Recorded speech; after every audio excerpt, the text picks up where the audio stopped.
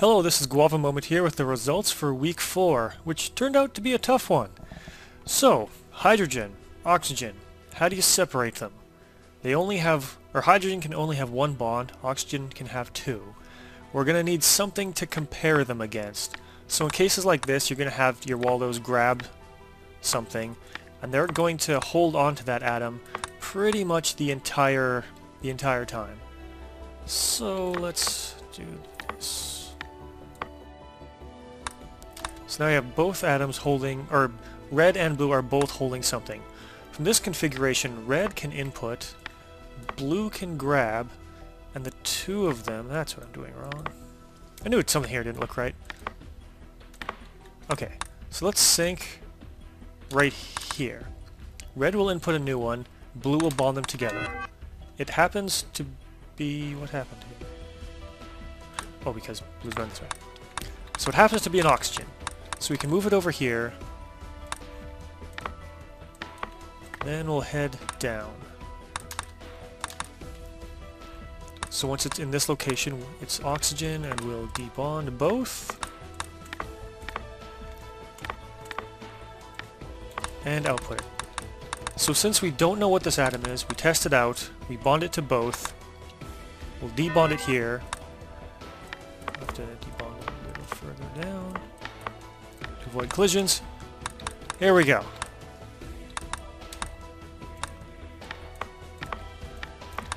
There we go. Now we've got it. So we'll grab something new. Now it's a hydrogen. So this bond, vertical bond, does not form. So right here, if we put a red debond there, blue output there, so this first debond, what the heck? Oh, don't need that. What am I doing wrong here? Now we got it. Now we got it. So we debond that, debond here. If it's a hydrogen, we debond there, it gets dropped there, blue outputs it. If it's a hydrogen, it's an oxygen, another hydrogen. There's an oxygen, it gets debonded there, but now it's still connected to blue, debonds there, and outputs it. So that's the basic idea between or behind sorting by bonds. You need to find a way to have one path do two different outcomes depending on what the input atom is. Now this system here will work for a completely random set of inputs, including the first two. These uh, the ones that red and blue are holding on to could be hydrogen or could be oxygen. This will still work. If we know, though, that the first two inputs are oxygen, we can speed things up a little bit. If you're still a little confused how as to how this can work, here's a solution by CERN that's very simple. It's one Waldo, two bonders, that's it. Drop something that's known, an oxygen here, then you can drop something else here and compare it. Bond it twice, debond it once, since it's oxygen, this the bond remains, so it does not get outputted. Then debond it again, drop the oxygen down, output it. Hydrogen. Try to bond it twice, debond it once, now it has no bonds, it gets outputted. So uh, CERN submitted this to me as just kind of a novelty, one Waldo, two bonders, just to show how simply it can be done.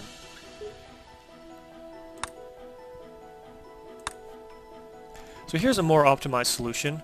Since we know the both inputs are oxygen, if you have the, uh, so I'll show here, blue and red are going to hold on to the same oxygen the entire time. Let's just watch blue as it comes around. And uh, red and blue are going to work in tandem to input a new atom and bond it. Here is where blue will attempt to bond it twice. Then red can debond and blue can output. It will, if this was oxygen, it would be bonded twice, and it would now still have one bond connected, and blue would carry it down to here, debond it, and output it. So let's see like this. Double bonded, lose one bond, drop the oxygen down here. So this is a uh, better idea of how to sort by bonds. Hopefully seeing it in action makes a little bit more sense. This was one of the fastest solutions I received. This was submitted by me, also by Wild M, Jabor, and Nethris for 128 cycles, 29 symbols. Now, uranium and plutonium. Since uranium can have 6 bonds and plutonium can have 7, that means to separate these two, at one point we're going to have to have the plutonium with seven bonds connected to something. Since you can only have three bonds to an atom, That means we're going to need to bond this plutonium to three other atoms to have at least seven bonds. What does that mean?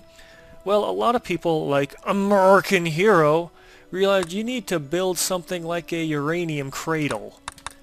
So he's got his uranium cradle here. This is the target atom. Well, he happened to know that was uranium. But you bring it in, bond it a whole bunch of times. Bond it again. Since it's plutonium right now, it'll remain bonded. And he swaps it out to the output and outputs it. Or grabs it, drops it, outputs. So like this, the uranium cradle can separate uranium and plutonium. This was uh, probably the most difficult challenge I submitted yet, but I have no regrets because I saw there are some amazing uh, solutions here that you're going to see. Oh, might as well point out this one. 829 cycles. Also, I should point out that a lot of the plutonium separation solutions we're going to see are legacy solutions and not necessarily that person's fastest solution. They're just kind of interesting ones to see. So this one was submitted by Nethris. It doesn't use the uranium cradle. It uses something that's kind of difficult to even understand. It just shimmies back and forth a bunch of times and somehow correctly outputs uranium plutonium. This is a weird one to have to... You really gotta sit and look at this and wonder how the hell this works. I guess it's kind of like using a uranium cradle, except this uh, uranium, the red wall that was holding onto, uh, is kind of acting as both bottom points here.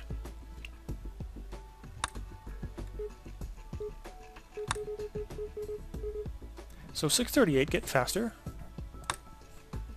Genderbilt did something I really like.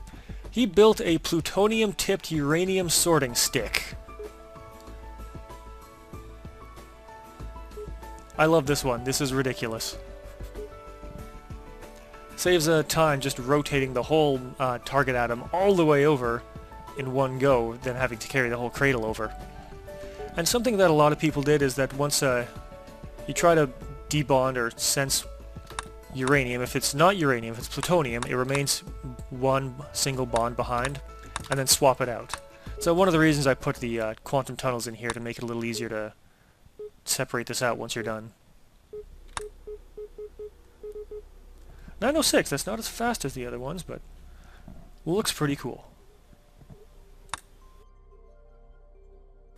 Mr. Blarney also built the uh, U-shaped uranium cradle. He did one that uh, ends up being pretty cool looking in motion. Again, swapping out the plutonium when it's not needed. I think this is a faster one. 426, that's pretty good. And here's Jabor, who uh, places down three uraniums instead of building a cradle, just keeps them stationary and moves around the uh, target. Fairly clever for 651. Added space. Did something a little weird too. Sets up... Th uh, this is a weird thing. This is a... Uh, kind of just have to see it in motion. He chugs the whole thing around in a cycle.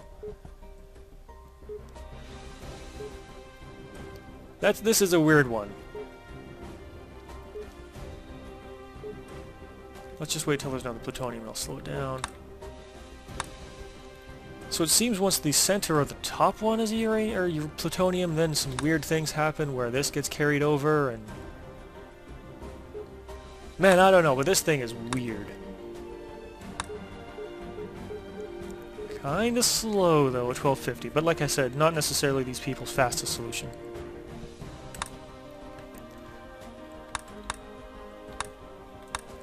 Here's a American Hero again, who uh, makes a slightly bigger uranium cradle and found a faster way to do it.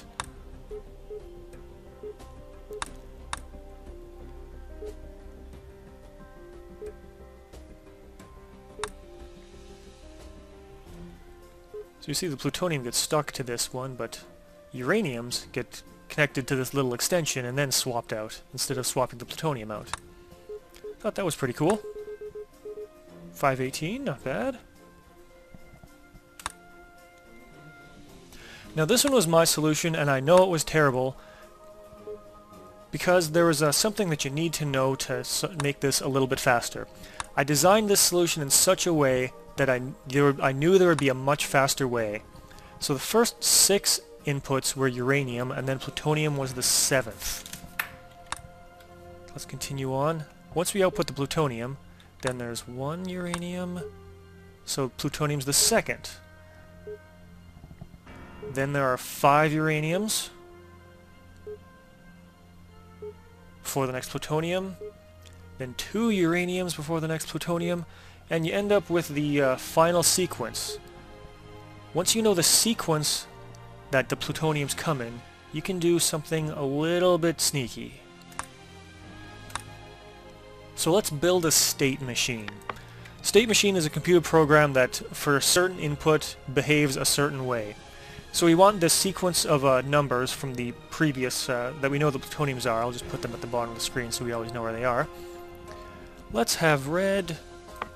Okay, well, red will sync. Then input, swap. We'll swap it into the uh, zone here. And output if it's uranium. So we know that the plutonium is the seventh one, so we'll need one, two, three, four, five, six, seven syncs for blue. If blue then grabs that, drops there, and outputs, this will output the seventh atom in the sequence into the psi zone. So now, there comes the plutonium. I screwed this up a little bit.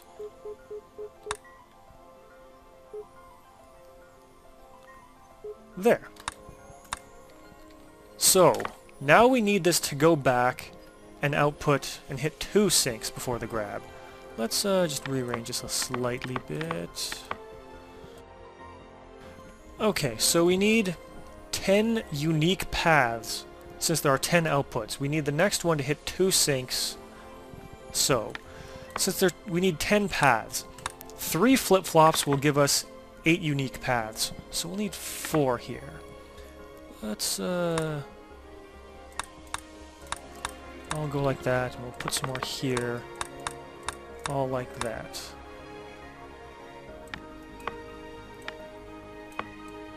How about like this? This will do the six uraniums and the plutonium. Then, no it won't. Six uranium, plutonium. Then one uranium, then the plutonium again. Now we need this path to go to five. So this one here, or five uraniums, then a plutonium. So it's six. One, two, three, four, five. Here. So this path needs to go here. And as we'll see, or we will see, what am I doing wrong? Mm -hmm. Ah. All these should be this way.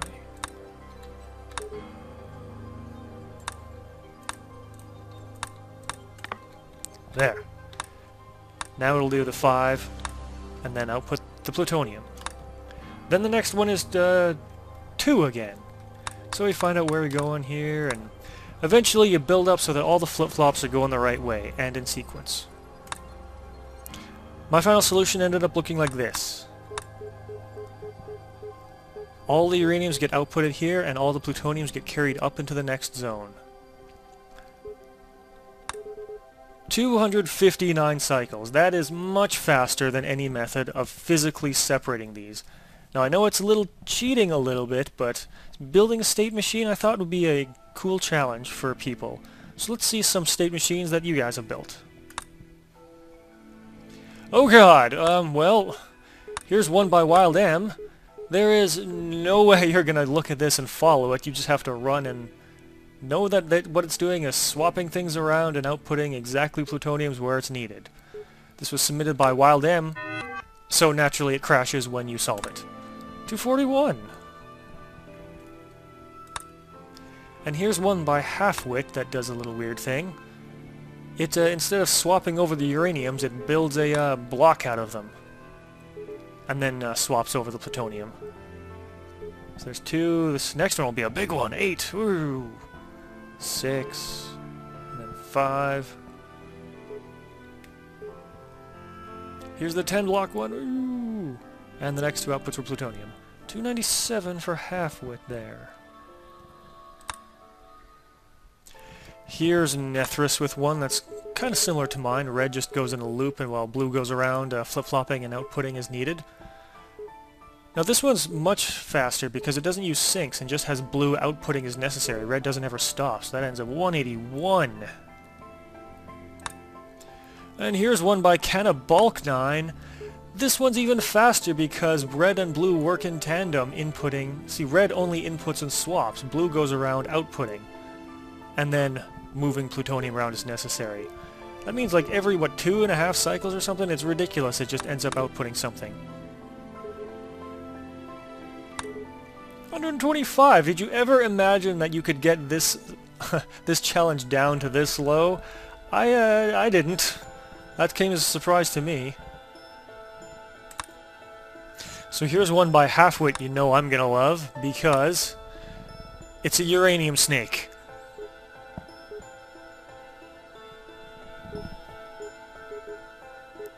I love it. It's beautiful. It's crazy. It's amazing. Uranium snake. 518. Here's kind of a crazy one by Sibling of TB. It's half state machine, half actual physical sorting. So this is the state machine part of it. But now he's built an enormous uranium cradle and is going to physically separate the rest of them. Uh, based on the size of this cradle, are you compensating for something, Sibling? Good lord. Look at that thing, that's huge! That's 508. And here's a, another crazy state machine by Jabor. Oh god, what is even going on? I don't know. 121! that was the fastest solution for this challenge, so congratulations Jabor. So if you could build a state machine for separating uranium and plutonium, can you build a state machine for separating hydrogen and oxygen? Well, yeah, you can, but there's a reason that this is not going to be faster. I specifically designed the challenge so that this one would be faster to solve by actually physically separating them. The plutonium, I knew it would be faster to build a state machine to separate them because there was such an overabundance of uranium and because I gave you the quantum tunnel. In this, because the hydrogen and oxygen are equally matched, and because you actually have to physically transport them over, I thought a state machine would be slower for this solution. Uh, I only received three state machine solutions for uh, hydrogen and oxygen sorting. This one was created by Brewski, which I have to give him a lot of credit. Brewski's been uh, submitting solutions. He's almost one of the first people to submit solutions for these things. But he's uh, never really been in the top 16, or even really close, honestly. But he actually ended up building a state machine for this, which I was really impressed with. He was the first person to build a state machine. So I thought that it was a very difficult accomplishment, so I wanted to show this off and say congratulations on that, Brewski. And here's Halfwit, who built a state machine, but like I said, because hydrogen and oxygen are equally balanced, because there's no quantum tunnel, this is not going to be faster than my 128 cycle solution. It... What? Well, uh... Huh. Okay. So, um, I have to apologize. Turns out a state machine is faster for this challenge as well. This one ended up actually in second place. There's an even faster state machine out there. Oh, Canabalk 9, you and your crazy state machine. This is... this is a thing. I didn't realize that you could stitch things together like this and build a state machine out of that, and have it end up be faster. I really do need to apologize for that. Oh my god, 77 cycles! Are you kidding me? Oh. So yeah, hey Wild M, you didn't know there was a state machine. I didn't know you could get this down that low either. But yeah, so there you go. So I apologize for that. Luckily, there was only two people that submitted uh, state machine solutions for this, and uh, well, we've all learned our lesson. Hope we all had some fun. And uh, down to some more traditional, non-cheaty challenges for Week 5. This has been Guava Moment. I'll see you then.